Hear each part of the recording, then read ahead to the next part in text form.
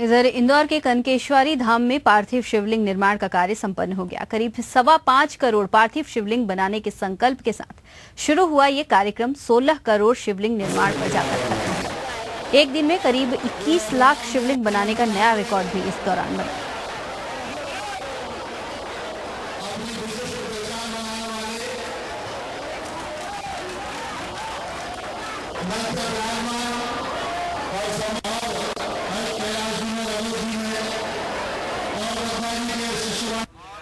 सात दिनों से हमारी टीम यहाँ पर सुपरविजन कर रही है देख रही है जो हमारा हमको क्लेम किया गया था कि इस प्रोग्राम में पूजनीय दत्ता जी के सानिध्य में जो प्रोग्राम हो रहा है कैलाश विजयवर्गीय ऑर्गेनाइज कर रहे हैं इसमें सवा पाँच करोड़ का निर्माण किया जाएगा।